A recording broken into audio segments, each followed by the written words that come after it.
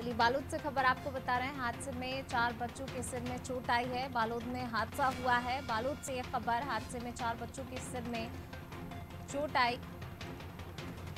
Tiles गिरने से हादसा हुआ है आंगनवाड़ी की दीवार में। टाइल्स लगी हुई थी और टाइल्स गिरने से यह हादसा हुआ है। हादसे में चार बच्चों के सिर में चोट आई। सभी को जिला अस्पताल में भर्ती करा दिया गया है। भैंसपुर आंगनबाड़ी केंद्र की ये घटना है।